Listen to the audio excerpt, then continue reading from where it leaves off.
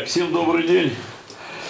Значит, тема задачи коммунистического движения в России, она вроде бы как и не новая, да, можно сказать, даже много раз проходили. И тем не менее, практически каждый год мы к ней возвращаемся в той или иной постановке. Ну почему? Прежде всего потому, что мы рассматриваем эту тему в привязке к конкретному моменту и к сегодняшней ситуации.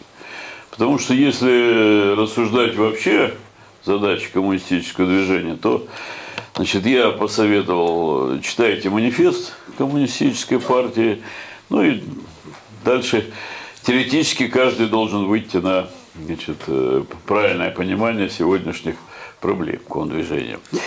Поэтому, конечно, мы рассматриваем это дело применительно и во времени, и в пространстве к нашим сегодняшним, прежде всего, российским условиям. Поэтому начнем мы с того, что сами себе зададим вопрос, э, который наши оппоненты часто задают. А вообще марксизм, он актуален сегодня? Не устарел ли он?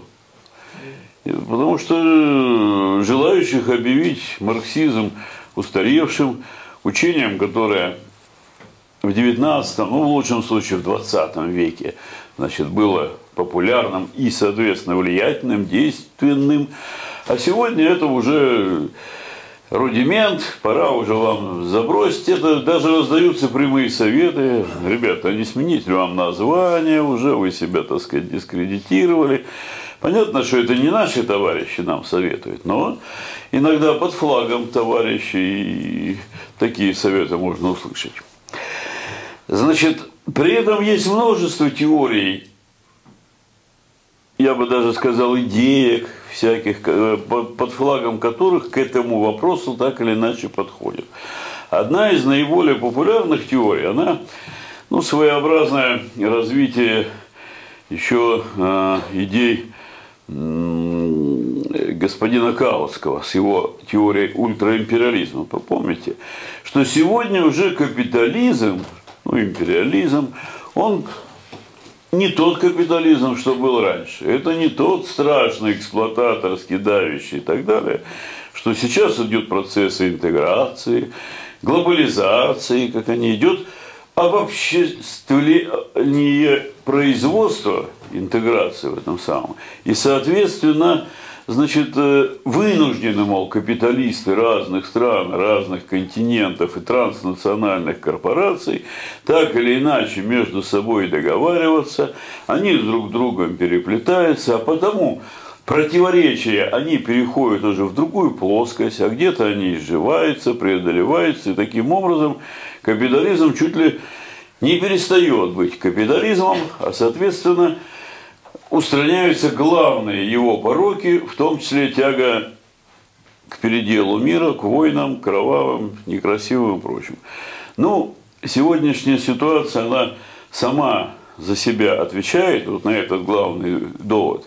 Мы с вами видим, что происходит в Сирии, что происходит на Украине, какую судьбу постигла недавно значит, э, участь э, Ирак, Ливию, Югославию, ну, цепь можно продолжать. Все это звенья, так сказать, э, империалистической политики, разрешения империалистических противоречий. Поэтому мы с вами на вот этот вопрос говорим, да нет, с этой точки зрения не получается. Не сам себя капитализм, так сказать, не, не вылечил, не исправился, и все те мерзости, Э, гадости, кровавые, так сказать, болезни империализма, которые были описаны, систематизированы Владимиром Ильичем в его гениальной работе «Империализм как высшая стадия значит, капитализма», мы сегодня наблюдаем. Еще один довод, который тоже можно значит, нам слышать и который, ну, как бы э, на более низком уровне, так сказать, доморощенно такой частенько встречается, это довод о том, что, слушайте, ну, с развитием научно-технического прогресса, с ростом производительности труда у капитализма появляется значит, гораздо больше возможностей для обеспечения э, общего благосостояния людей, что сейчас мы уже не увидим то, что было в прошлом веке, да, когда дети от голода пухли, когда на всю семью там одни или пара сапог была всего, да. Сегодня уже даже у бомжей можно увидеть мобильные телефоны, поэтому, поэтому совсем другое общество, уже сам, сама структура производства изменилась, сам пролетариат, вот как в том классическом понимании, как класс, он исчезает, нечестно уже исчезает, уже появился, так сказать, некая общая общность, такая новая общность производительного народа, и здесь уже значит, э, все работают, э, и все заслуживают, так сказать, поощрений, поэтому в этом плане капитализм двигается, мол, опять же, к изжитию вот тех противоречий, от которых отталкивалась ваша коммунистическая теория и прочие дела. Ну вот, я по примеру своей семьи даже иногда вот так думаю, что с одной стороны, э, действительно, значит, у меня у бабки в семье было вместе с ней, значит, 13 детей. Отец был слесарем-лекальщиком, значит, на Морозовском пороховом заводе, ну тогда Шлиссельбургский пороховой завод. Все жили в одной комнате, и, значит, обувки у них было примерно наполовину детей. Ну так вот, то есть не у каждого была кожаная обувь, чтобы бегать и прочее. И старший брат, значит, в РСДРП вступил в 2014 году, 1914. Хотя там отец был против и прочего. И вроде это, так сказать, ситуация, которая ну, действительно диктовала, за что люди выходили, боролись и прочее. И если мы вспомним первую программу, значит, РСДРП, там, значит, восьмичасовой рабочий день добивались, значит, э, ликвидация каталажек, то есть тюрем заводских, декретный отпуска для женщин, которых практически не было. Ну и такие требования были, которые с высоты сегодняшнего дня, да, они кажутся, ну, уже все, все выполнили, уже добились. И вроде, если бы те товарищи глянули бы значит, на то, как сегодня мы здесь живем, может быть, кто-то и сказал, слушайте, ну так у вас уже так сказать, победившая программа, и вы вполне благополучны. Однако, значит, мы, как люди с вами грамотные, понимаем, что ведь речь идет о том, что научно-технический прогресс не остановишь.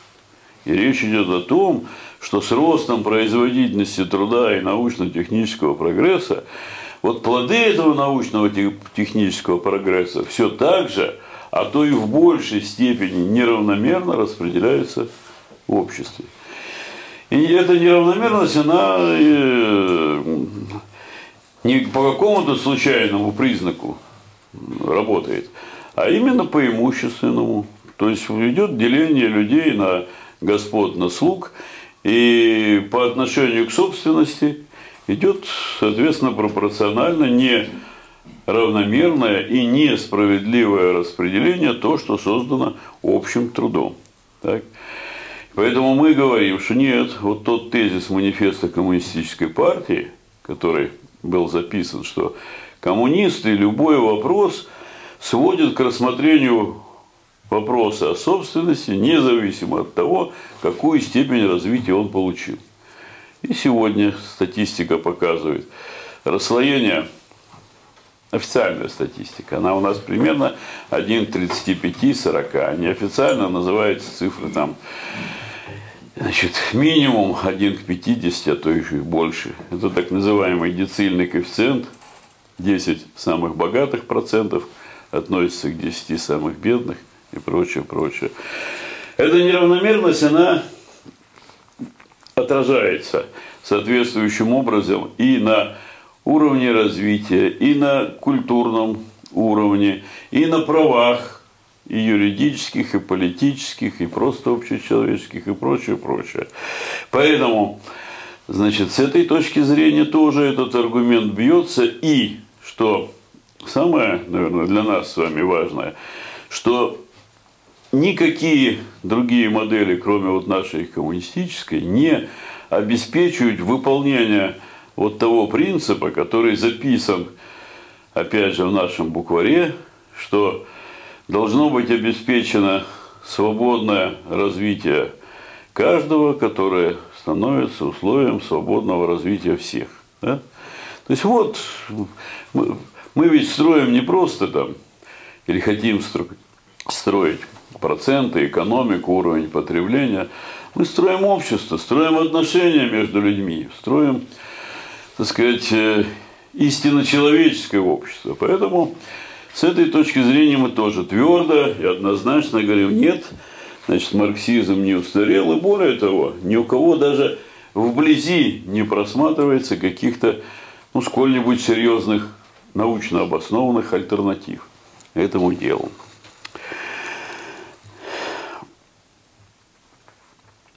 При этом можно добавить, что э, отвечая вот тем оппонентам нашим, что ли, которые любят сводить качество жизни только к уровню потребления, да, что вот, а вот как там в этих самых развитых э, странах, продвинутых вперед, ну, берется уровень там Швейцарии, США, Швеции, с Бельгии или прочим. Так вот, на этот вопрос ответ тоже очень простой, потому что если взять вот этот уровень потребления, ну, просто механически, и распространить его на все 6,5 миллиардов населения нынешнего земного шара, то очень просто убедиться, что земных ресурсов для обеспечения всех просто не хватает. Нет, это тупиковый путь, он в никуда.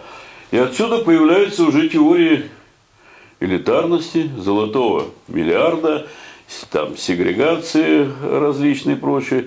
То есть то, что в конечном итоге рано или поздно приводит к различным модификациям фашистской теории, где господствующее положение занимает уже целые народы или элитные, так сказать, э, части этих народов, а все остальные, они или обречены на прозябание в лучшем случае, а в худшем случае на освобождение жизненного пространства. Ребята, подвиньтесь, тут, так сказать, есть более достойные претенденты на это место.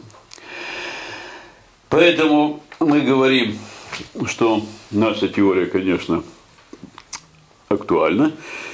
И не только актуальна, она с общей, так сказать, человеческой точки зрения является самой гуманистической, самой понятной и востребованной. И здесь уместно напомнить, чего я вообще люблю делать в последнее время. Вот ту цитату, которой молодой Владимир Ильич, еще ему было 30, считай, лет, значит, э, высказал такими словами, что пробуждение человека в коняге, то есть в рабочей, так сказать, лошади, это пробуждение, которое имеет такое гигантское, всемирно-историческое значение, что для него законны все жертвы. И вот этому пробуждению Владимир Ильич Ленин посвятил всю свою жизнь.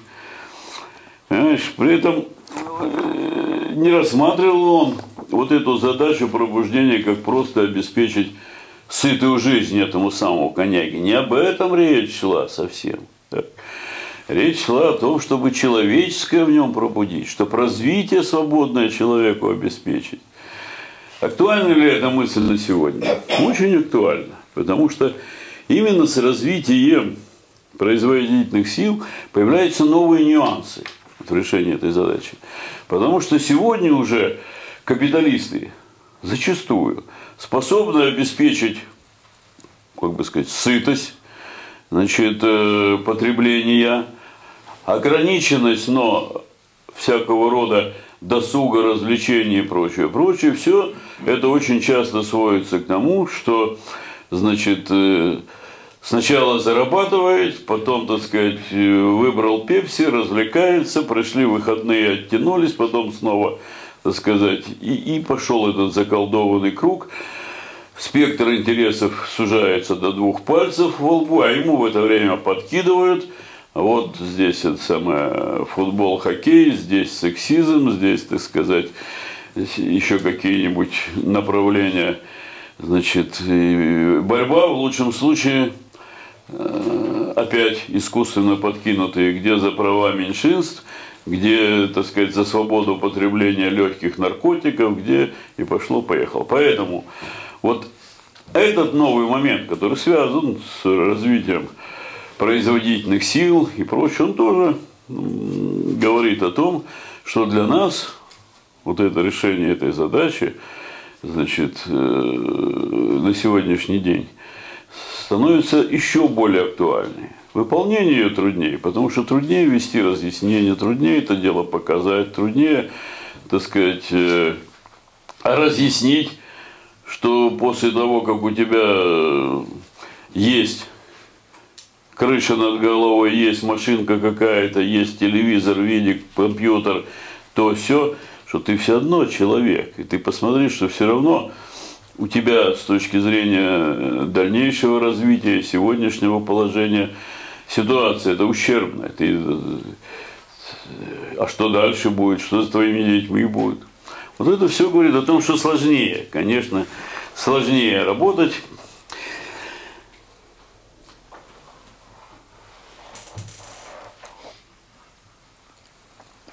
Ну и тем более, что это, значит, нас будет с вами подводить к мысли о том, что, значит, больше надо работать мозгами. Нам самим в первую очередь и так далее.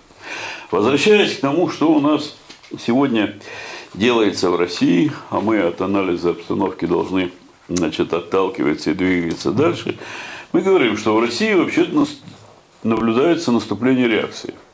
Этот процесс еще отнюдь не остановился – он не закончился с тем, что вот преодолены лихие 90-е э, годы, как многие любят, так сказать, э, отмечать. А кое-кто приписывает, что мы с приходом к власти Владимира Владимировича, нынешнего президента, даже прервали эту негодную цепь и начинаем э, двигаться по пути восходящей да, кверху. Что смотри-ка тут и промышленность, и уровень потребления, и даже мы вышли по уровню потребления на сытые советские годы. Значит, есть такая фраза, которая прозвучала в 2007 году. Это точку отчета взяли, прочее, прочее. Что на это можно сказать? Что, конечно, это неправда. Во-первых, неправда, потому что даже если вышли на, по уровню, даже если это так, по уровню потребления на советский там 89-90-е годы, то, значит, за это время другие-то вперед ушли. Ведь надо же учитывать ход прогресса, который идет. За эти 20 с лишним лет сколько могли настроить, наворотить, на, продвинуться вперед, развиваться и прочее во всех этих. Это раз. А во-вторых, не эти даже чисто объемные показатели являются характеристикой положения. Если брать относительные показатели, относительные о э, удельном весе э, нашей экономики, ну тогда советской, сегодня российской, в общемировой, то мы в этой статистике увидим, что раньше занимали секты там порядка 12-15% мирового ВВП. Сегодня там 2,5 или чего-то. По уровню объема наукоемкой продукции скатились до жалких десятых там, долей процента.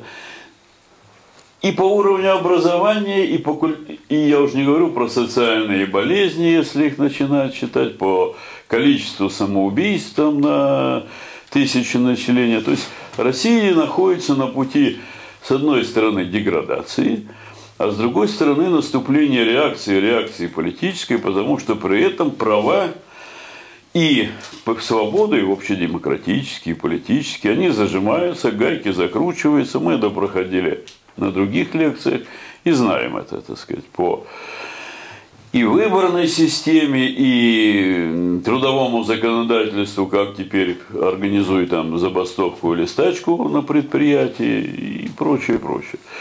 И вот в условиях наступающей реакции Владимир Ильич Ленин нам советовал ну, тогда для революционных социал-демократов, а теперь мы это к себе с вами относим, что задачей партии в условиях наступления реакции является сохранение ее ортодоксального, то есть революционного характера, того характера, которое настигало в годы максимального подъема революционного движения. Вот это задача сохранения ортодоксального характера партии. И в этом плане хочу рассказать, может быть, кто-то уже от меня слышал, один ну, довольно забавный случай, который произошел, наверное, году в 1999, может быть, восьмом, значит, э, на пленуме СКП КПСС. Тогда этой системой командовал Шенин Олег Семенович. Мы в нее входили, входили вместе с КПРФ, с КПУ, с другими партиями республик. И вот как-то на таком пленуме произошла стычка, ну и идейно-теоретическая между нами и КПРФ, когда мы в очередной раз как сказать, высказали свои сомнения по поводу их теорий о исчерпанности лимита на революции, принятия парламентаризма за власти и так далее. Так? И тогда встал такой тот самый, тогда еще более молодой, энергичный Петр Николаевич Симоненко и выдал гениальную фразу. В конце концов, товарищи, мы должны защитить марксизм от ортодоксов вот этих. Вот, знаешь, это вот характеризует уровень ну, подготовки, что ли, уровень мышления, теоретического мышления. Может быть, внутренне, так сказать, честных людей, которые взялись за организацию коммунистического движения – в данном случае в России и на Украине. И я думаю, что вот те ошибки, которые были совершены Компартией Украины в ее тактике, в заигрывании с партией власти, с компромиссами, с э, отворачиванием головы, так сказать, от рабочего движения.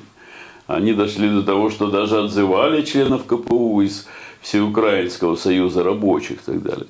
Вот они привели в том числе значит, трудящихся Украины, идейно-организационно безоруженными э, к этим событиям, к разгулу фашизма, бендеровцы и прочее, прочее. Поэтому вот эта задача сохранения ортодоксальности учения, ортодоксальности марксизма-ленизма, она для нас сегодня стоит.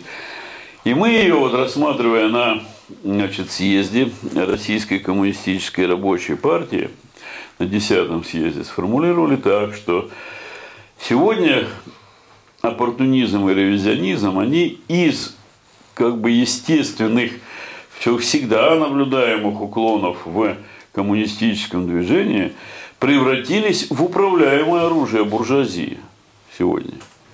И поэтому задача РКРП и ее ближайших союзников в сохранении марксистско-ленинской составляющей теории и политической практики для современной России и для будущей борьбы в России. Значит,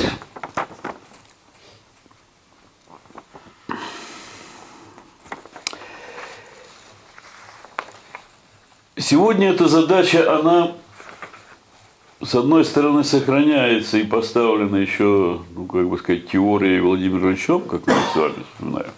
С другой стороны, она, значит, э, труднее к исполнению во многом. Почему? Потому что, опять же, развитие науки и техники дали в руки буржуазии достаточно новых рычагов обработки – общественного мнения, формирования общественного сознания, оболванивания людей, в конце концов, если так грубо говорить. Появились новые технологии, в том числе технологии, значит, э, с учетом различных психологических эффектов.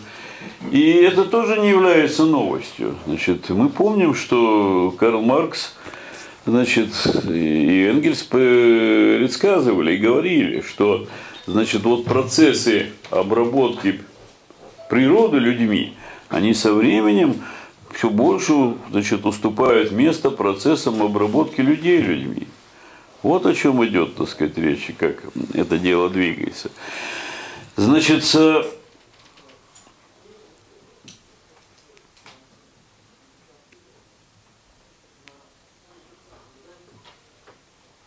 Я думаю, что можно привести несколько примеров ну, так, сегодняшней жизни.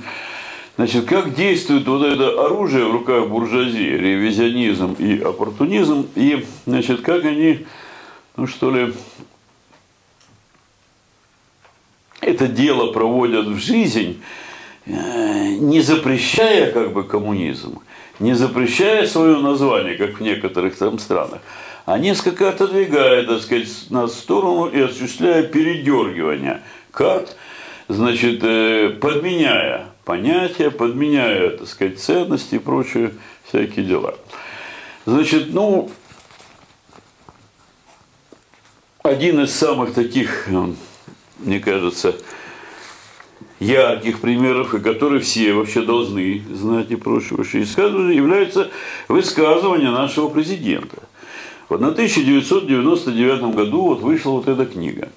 Называется «От первого лица. Разговор с Владимиром Путиным». Здесь интервью. А с Владимиром Путиным, Б с э, лицами, которые близко к нему расположены, которые рядом стоят, знают и прочее, прочее. И вот речь идет о значит, э, коммунистической партии. Глава называется «Партия с тараканами». Владимиру Путину задают вопрос. Как вы думаете, Владимир Владимирович, Значит, имеет ли перспективы коммунистическая партия в нашей, так сказать, э, действительности и в России в частности? На что Путин отвечает, так, что у них есть все шансы стать современной парламентской партией в европейском смысле этого слова. Путин говорит. Если они избавятся от своих идеологических тараканов. Его спрашивает э, корреспондент, вы о чем имеете в виду? Какие идеологические тараканы? А идеологические тараканы – это вот мысли о приватизации, диктатуре, не приватизации, национализации вместо приватизации, диктатуры пролетариата, социалистической революции, ну и все, что из этого следует. Недаром у Путина главный лозунг, который всех их объединяет, это пересмотра приватизации не будет. Вот. Корреспондент довольно дотошный был и говорит, слушай, а самое, как вы думаете, сами руководители-то понимают КП РФ это дело или нет? На что Путин отвечает, что как вам не покажется странным, руководители это понимают. Не поним, понимают. Но они вынуждены считаться с ситуацией и не могут сразу измениться, потому что боятся, что их электорат это воспримет как предательство. А ведь тут достаточно важно не упустить моменты, действовать тонко. Вот о чем идет речь. И еще раз, как он говорит, что они либо изменят свои установки программные, и тогда они станут крупной левой партией, повторяю, европейского типа. Поэтому Значит, можно сказать, что по большому счету сегодня товарищи из КПРФ во главе с Геннадием Андреевичем выполняют установку Владимира Владимировича и двигаются именно в этом направлении. Кстати, в этой книжке есть и другая интересная глава, которая называется, значит, флагшток был срезан автогеном – где описывается, как вступили в борьбу э, с нами на площадях Дома политпросвещения, когда был поднят красный флаг на высоте 15 метров на мачте, на которую залезал наш товарищ с. Значит, вот эти фотографии здесь исторические есть в этой книжке. Я пока могу пустить по рядам, книжка должна вернуться сюда. И то, и другое можно посмотреть на это самое. А? Фотографии в электронном виде есть. Мы их пришлем, если чего. Или сделаем, если не хватает. Поэтому несколько примеров мы договорились, что сейчас еще других посмотрим. Вот как действует оружие управляемое оружие оппортунизма и ревизионизма на примерах, ну вот на примерах зарубежных партий. Это же явление не только наше, а общее, да. Значит, есть партии, в том числе славные партии, скажем, Компартия Франции, которые отказались от таких символов, как серп и молот. И говорят, что они устарели. Так. Значит, практически все европейские партии, особенно те, которые входят в так называемые европейские левые, а сохранили название коммунистические, они отказались от тезиса диктатуры пролетариата, от, главного, что есть в марксизме, поэтому есть. Многие ушли еще дальше.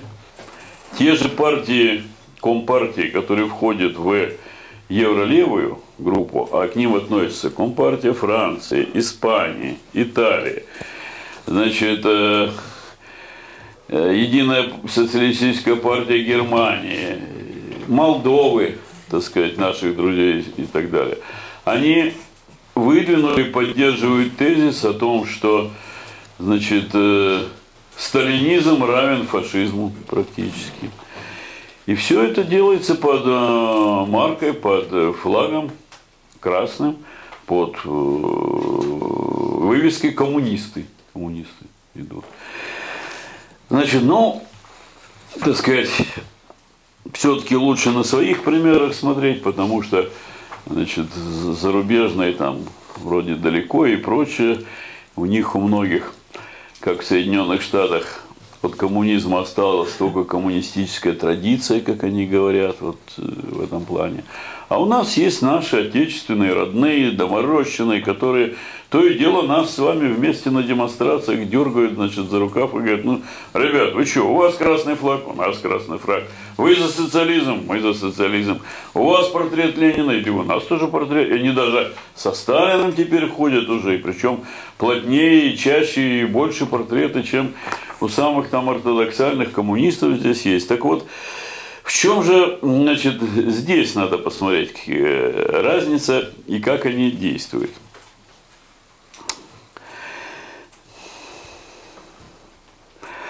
Ну, мы уже сказали, что по большому счету они выполняют, значит, э, пожелания Владимира Владимировича в своей программе. Но это видно и на всех, так сказать, их программных установках. Например, после того, как у них был исчерпан лимит на революции, дальше Значит, э, в разные постановки они признают парламентаризм за народовластие. Они исповедуют концепцию, концепцию рыночного социализма, который идет.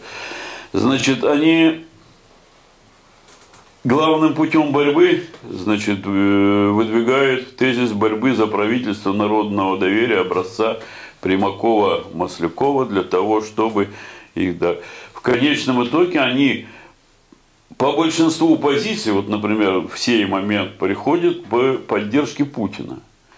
Причем поддержки не только во внешнеполитическом курсе, что, так сказать, отдельно можно разобрать, и где есть там и, может быть, положительные моменты, а ну и во внутриполитическом. Только лукаво, вводя известную такую дилемму, что Путин-то мыслит правильно, Путин-то он смотрит на поддержку и отечественного производства, и экономики, и прочее. А вот либеральное окружение, а вот правительство, вот ему не дают. Поэтому давайте-ка мы поможем сместить правительство. Долой правительство Медведева. Однако, ну, большинству людей, конечно, не свойственна аналитика и память довольно короткая. Но если перечислить, сколько у нас было этих правительств и премьеров, так сказать, начиная Силаев, Гайдар, Черномырдин, Кириенко, значит, э, Примаков, э, Степашин, Путин, ну, в общем, полтора десятка. Заканчивая тем, тех, кого назначали и с кем работал тот же значит, Путин, уже Касьянов, к примеру, и так далее, то понятно, что дело не в правительстве. Да? Более того, значит, происходит процесс своеобразного вписывания, вот вписывания тех, кто называет себя коммунистами, в систему действующей власти. При этом вписывание не, не, не то, чтобы напрямую, так сказать, а мы поддерживаем, а вписывание в виде э, такого элемента, который называется оппозиционным, выполняет ряд оппозиционных функций, но при этом придающий систему стабильность этой системе и так далее. Значит, ну, например, Сейчас КПРФ очень радуется, что выдвинули и победили, так сказать, э, депутат их, Левченко, в Иркутской области, губернатором стал. Так? Причем во второй туре. Причем вроде бы незапланированная победа. Ура, так сказать, раздаются лозунги, что это же, смотрите, это возможно, значит, э, смена власти и победа, так сказать, на этом деле. Однако, не потому, что мы э, против Левченко выступаем и хаем, а потому что надо смотреть на все это дело с научной точки зрения и понимать, к чему это дело идет. Во-первых, значит, потому что э, для власти тоже есть определенная выгода, что он пришел туда. Потому что только-только выступали демократы, что никакой смены власти нет, ничего, все зажато. А тут смотрите, демократия, победа. А с другой стороны, ну и что это победа? У нас уже были красные губернаторы. Ткаченко, Михайлов, Ходорев, Тулеев – и можно перечислять. И что? И что? Более того, сейчас есть красный губернатор в Орле, Вадим Потомский, наш воспитанник из Ленинградской области. Потомский. Это тот самый Потомский, который, вот тогда я его еще отслеживал, который на одной из телепередач заявил, вы нас не Представляете тут такими этими ретроградами, консерваторами? Мы не за социализм, который там это с кровавыми преступлениями тоталитарный был. Вот я недавно был в Америке, вот мы за такой социализм, как там, развитый, с уровнем потребления и прочее. Сегодня потомский губернатором. Причем губернатором, который был поддержан Единой Россией и выдвинут. О, партия Единая Россия – поддержала губернатора Потомского. И что мы имеем? Имеем очень интересные дела. Вот сам Борисович сейчас, как зам главного редактора, значит, будет работать над материалом. Приходят к нам письма из Орловской области. Пишут коммунисты КПРФ. Помогите в нашей борьбе, значит, нужно добиться смещения вице-губернатора некто Суханов. Вице-губернатор, он руководитель правительства и аппарата. Оказывается, он такой мерзавец, такой подлец, и он осуществляет гонение, вру, не Суханов он, это он осуществляет гонение на Суханова. А фамилия этого видеогубернатора Соколов. Оказывается, гонение он на Суханова осуществляет за то, что этот Суханов, член КПРФ, значит, добыл видеоматериалы об аморальном поведении этого самого вице-губернатора в бане, в компании, так сказать, э, симпатичной женщины, которая очень похожа на председателя избирательной комиссии областной. Товарищи, помогите, коммунисты. Ну, наверное, мы что-то опубликуем с картинками здесь. Вот Медведев, понимаешь, это самое, не Медведев, а Медведев, Медведев в бане и прочее. Но сам факт, вы подумайте, спрашивается, а кто там губернатор-то? Член КПРФ или как? Вы куда обращаетесь? Вы о чем, ребята? Вы себя насмех выставляете? Или как вот, значит, э, в этой ситуации? Еще искра. Ну ладно, это в конце концов, может быть, не, не, не, не совсем наше там это партийное дело тут разбираться, да еще с женскими вопросами. Кризис на дворе. Растут цифры по невыплате зарплаты. Самый большой показатель невыплаты зарплаты, который увеличился за год в 51,7 раза в Орловской губернии. Вот как. А в целом по стране, вот сколько там, в полтора, да, Степан Сергеевич? Пример, примерно. В Ленинграде в два с половиной, в Ленинградской области, мы смотрели, два с половиной. А в Орловской в 51,7 раза. Что лучше агитирует? За кого? В какую сторону?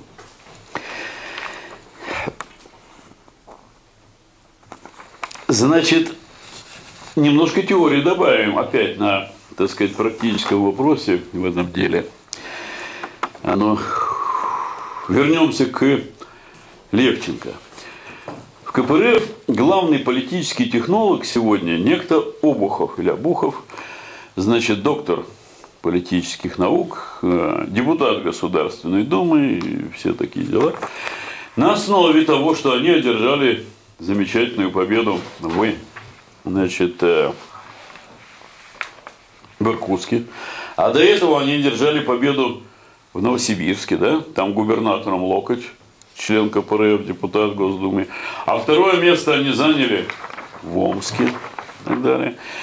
Значит, э, окрыленные успехом, может быть, испытывая даже некоторые элементы головокружения от этих самых успехов, они выдвинули уже концепцию, послушайте, по сообщению Рио «Новый день» отметили, выдвинута Сергеем Обуховым, секретарем ЦК КПРФ, концепцию двухпартийной системы, что эта концепция в России давно отрабатывалась, еще со времен Михаила Сергеевича, когда вычленялась социал-демократическая партия из КПСС. Однако, позже эта идея не была реализована, потом, вспомните Борис Ельцина на выборах, левая нога Рыбкин, правая нога «Наш дом Россия», Потом были другие идеи. Единая Россия, справедливая Россия, напомнил Обухов. Но все это возможно только тогда, когда будет смена политической элит, смена власти и оппозиции. То есть КПРФ претендует на смену лиц, смену оппозиции одни на другие. Возможно ли это? Возможно.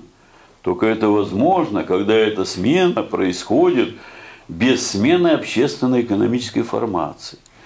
То есть они себя, в общем, к этому самому делу теоретически, программно уже подготовили, и теперь, ну вот, немножко перефразирую этого персонажа, который на сцене юмористов, возьмите меня, ну возьмите меня, ну и берут. Вы посмотрите выборы в Московскую городскую думу. Пять по округам. Прошло пять депутатов от КПРФ. Из них четыре, четыре без всякого противостояния со стороны Единой России.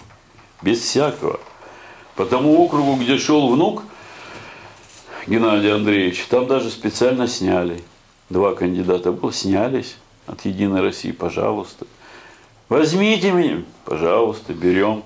Будете себя хорошо вести. Вот, вот то, что двигается и что мы наблюдаем э, в действительности. Еще очень важный момент, который мы, как профессионалы, должны с вами знать, это оружие со стороны буржуазии против нас же, значит, по управлению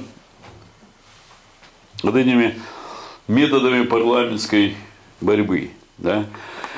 Значит, мы здесь не раз разбирали на лекциях, значит, что буржуазная демократия есть очень удобный, может быть, самый удобный способ реализации диктатуры буржуазии. Потому, что это наиболее устойчивый способ. Потому что люди при этом способе думают, что они чего-то выбирают и что они сами определяют, э, как дальше развиваться. А на деле это все выливается в то, что они сами определяют, кто следующий срок будет эту диктатуру персонифицировать и управлять в этом деле. Но все-таки, значит, этот процесс носит какие-то элементы, значит, э, субъективного влияния, то есть партии, движения, оппозиции и прочее могут сюда как-то вмешиваться. И вот для того, чтобы этого не происходило, с одной стороны, разного рода идет ужесточение законодательств. Мы это почувствовали на собственной шкуре, потому что Ротфронт регистрировался седьмого захода в это дело. И дальше нас, так сказать, попридержали. А сейчас можно видеть это дело на э, результатах вот тех выборов, которые прошли. Правила подстроены таким образом и меняются так, что э, для того, чтобы ими пользоваться, надо иметь ресурсы, деньги, юристов, специалистов, зеленый свет и прочее. Для интереса есть такие единицы, которые с точки зрения нас, как политтехнологов, носят сугубо технологический характер. Например, КПСС, Коммунистическая партия социальной справедливости. Кто-нибудь ее видел вблизи? Нет. Хотя ее возглавляет там Брежнев. Брежнев. Брежнев. Внук Брежнева. Да? Аналогичную роль выполняют так называемые коммунисты России с небезызвестным в нашем регионе Маленковичем. Ну, такой интересный чудак, который по телевизору то встречи с инопланетянами там организуют, коммунистами, то еще, да. При этом посмотрите, значит, на этих выборах, я прямо скажу, мы пытались выдвинуть списки, зарегистрировать и поработать в регионах. Но не вытянули, не вытянули в Челябинске, не вытянули в Калуге. Но у нас все-таки есть структуры, как у Ротфронта и прочее. А здесь коммунисты России сумели выдвинуть 58 списков разных уровней в 30 регионах. КПСС сумели 12 списков выдвинуть. КПСС. Они получили, коммунисты России, 10 новых региональных квалификаций. Плюс к предыдущим у них еще было 9, насколько я помню. Что такое региональная квалификация? Это значит, на следующих выборах в этих регионах они не будут собирать подписи. Мы, Ротфронт, ну, не основная эта деятельность, сумели три списка зарегистрировать на этих выборах. Три. Три. И два прошли в городской совет там по Дагестану, и одну квалификацию получили. Вот этого, значит, э, возможность в следующий раз участвовать в выборах. Они, кстати, будут в 2016 году в Дагестане без сбора подписей. А вот эти технологические единицы, они имеют квалификацию на Государственную Думу подписи не собирать сейчас. В чем их технологическая функция, это вообще спрашивается? У них две задачи. Первое, это они являются таким управляющим элементом, который позволяет с весов КПРФ убирать там 3, 4, 5 процентов, вполне дробить. То есть делают более управляемый КПРФ, которые и так, в общем-то, послушны и прочее. Но главная их функция это в том, чтобы преграждать дорогу вот таким, которые возникают, ортодоксальные, там, непримиримые, еще чего-то. И это тоже не новость теории, потому что значит, в работе о крахе Второго интернационала Владимир Ильич отличал, что эти правые партии, они сдвинулись здорово вправо, но они никогда не сдвинутся до конца. Никогда не уйдут с этого места, потому что в этом случае на этом месте могут возникнуть действительно революционные, действительно опасные, действительно те, которые вот это двигаются. Вот это та картинка, которая, так сказать, говорит о том, что Значит, э, задача сохранения марксистско-ленинской составляющей, ортодоксальной составляющей, она очень актуальна. И то, чем мы занимаемся здесь на лекциях.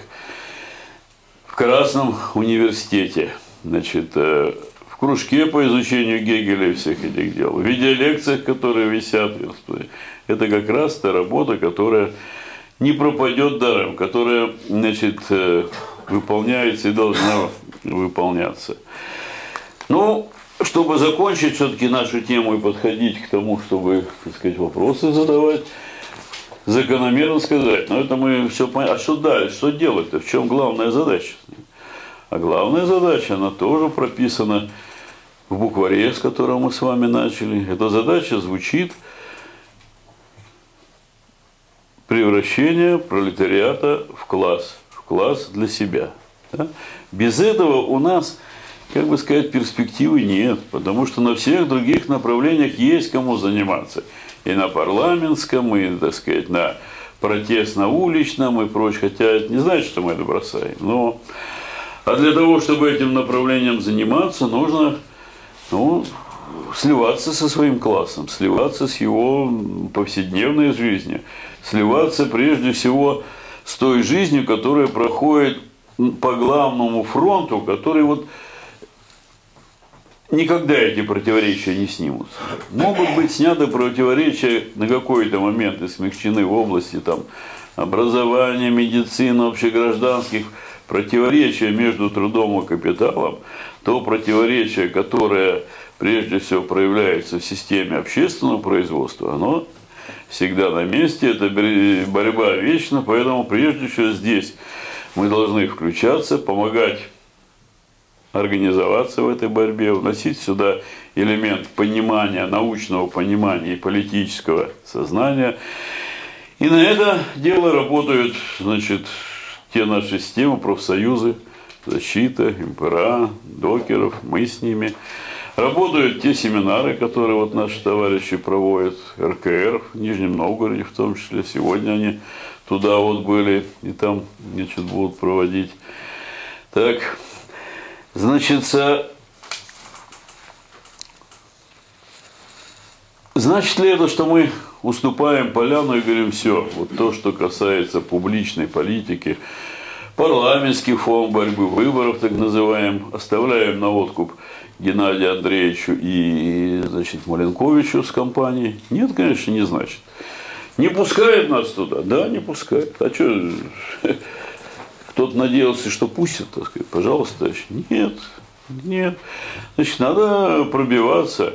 Есть ли возможности? Опыт, который на выборах говорит, что очень тяжело, но если вообще работать, то и здесь можно выжимать, так сказать, из этого камня песок.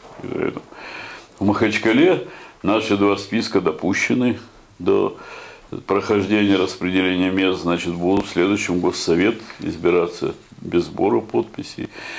Значит, э, в Тюмени несколько человек по округам провели на этих выборах, в других местах есть успех. Для того, чтобы эту форму использовать, создали и организовали блок, который называется «Ротфронт». Значит, с юридической точки зрения, это политическая партия, с точки зрения нашей, коммунистической, это блок, это не партия – это широкая, так сказать, организация для определенных форм борьбы. И мы, прежде всего, сюда зовем рабочие организации, активистов, политические силы. В том числе недавно обратились еще раз, уж не первый, к ОКП, Объединенной коммунистической партии, которые, если понимает, давайте, говорим, товарищи. И вот в 2016 году, вот у нас в Ленинграде, в Санкт-Петербурге предстоят тоже выборы. В ЗАГС городской. Можно ли нам выйти на эти выборы? Ну, хотелось бы трибуну получить, сказать, посмотреть, если провести депутата еще лучше, но сложно. Потому что закон гласит о том, что для этого надо собрать 18 тысяч подписей. Это много. 18 тысяч надо собрать меньше, чем за месяц. Да еще нотариально заверить сборщиков, да еще как придирается, да еще чего-то. Вот стоит вопрос, попробуем или не попробуем. Вот Ленинградский комитет значит, собирался, он э, решил значит, вместе обратиться к Ротфронту, говорит, давайте обратимся ко всем и в Ротфронте и вообще проведем разговор. Давайте попробуем. Только попробуем, не дожидаясь, когда там это выборы объявят и прочее. Там мы в этих условиях черт два что сделаем. Давайте сейчас начнем обращаться к своим организациям, союзникам, людям и собирать тех людей, которые потенциально нас поддержат. То есть собирать базу данных тех людей, которые, когда пробьет колокол громкого боя, объявит тревогу, которых мы можем высвистать, найти, зайти по телефону, лично подписывай. И вот запустили такую машину, значит, предлагает посмотреть, собирать подписи тех, кто потенциально, значит, э, готов поддержать, чтобы Ротфронт, блок классы, участвовал в выборах. Там, где речь идет об организациях, вот Степан Сергеевич рядом профсоюзов встретился уже. Есть те профсоюзы, которые думают, а есть те, которые уже взялись. Взяли на себя, предположим. Он говорит, мы много не можем, а тысячу мы соберем. Но мы и своего кандидата подготовим, выдвинем, как чего. Поэтому вот с этим делом мы обращаемся еще раз и к организациям, и к персонально каждому товарищу.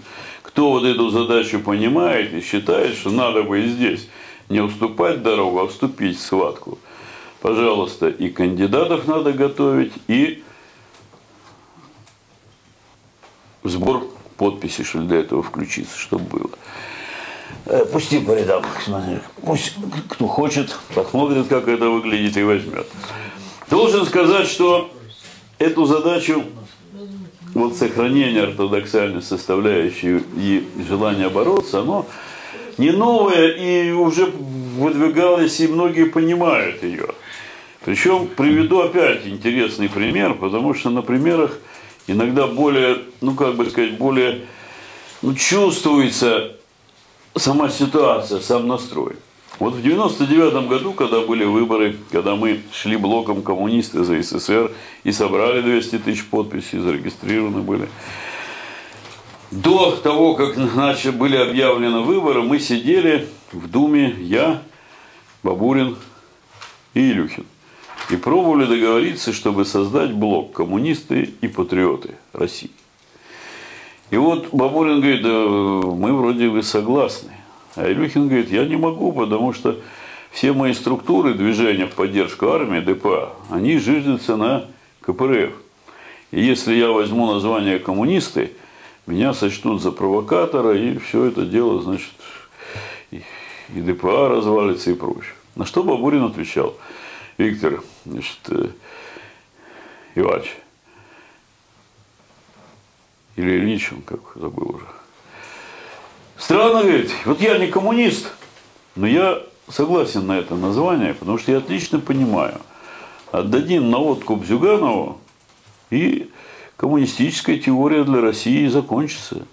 Потому что ну, такую они политику ведут.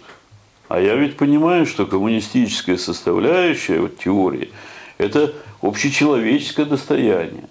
Это достижение человеческой мысли. Вот в такой ситуации мы находимся сегодня, поэтому, заканчивая, хочу сказать, что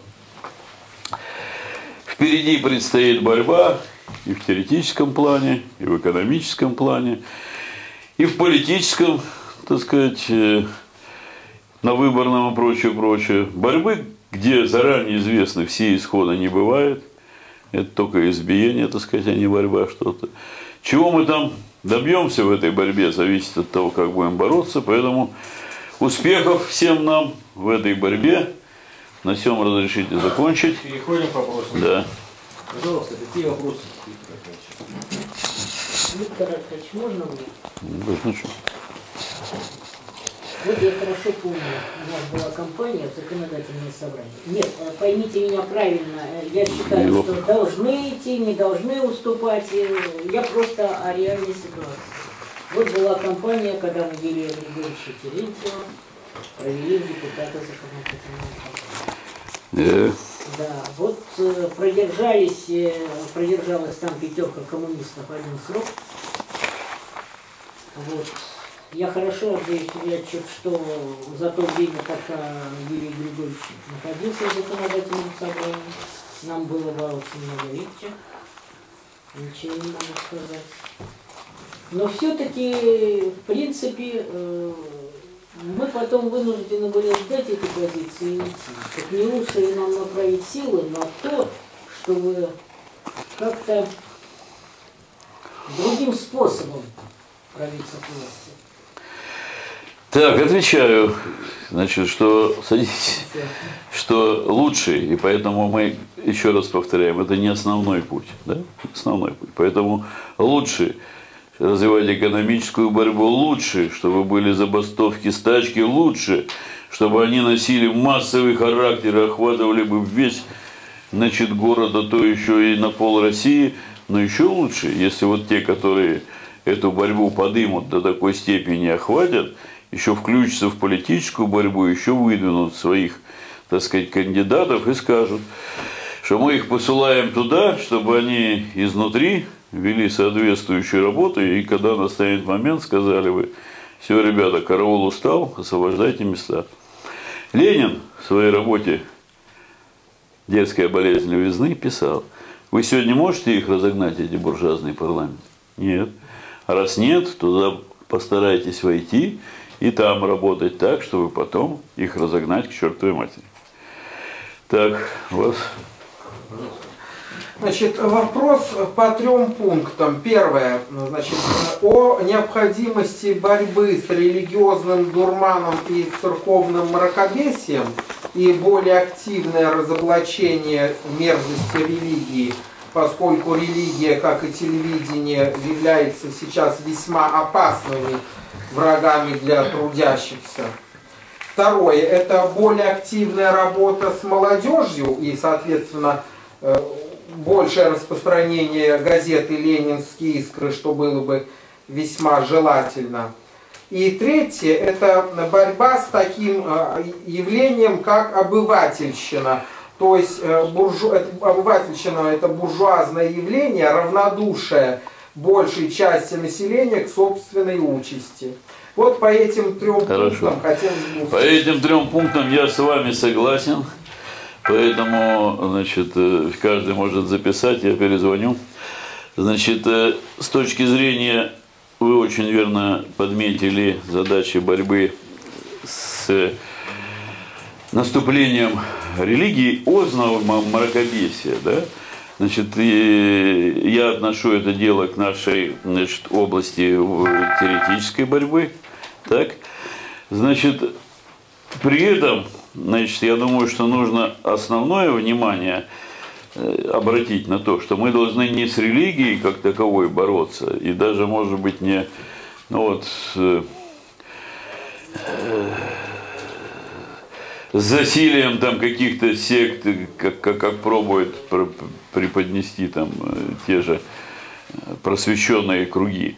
Мы должны бороться за научное мировоззрение, вот чего, да, прежде всего. А дальше показывать, что по большому счету, значит, э, что секты, что РПЦ, что уважаемый нами ислам и прочее, прочее, это все в любом случае есть путь к духовному и умственному закабалению народа. Сегодня религия это даже не столько мировоззренческую функцию выполняет, она выполняет функцию метода управления людьми, понимаешь, вот на этих делах. Поэтому по религии, значит, так прокомментирую, а по остальным э, делам присоединяюсь. С молодежью надо, было время с обывательщиной, тем более, да, с пенсионерами, с военными, с ветеранами. Достаточно на вопросы.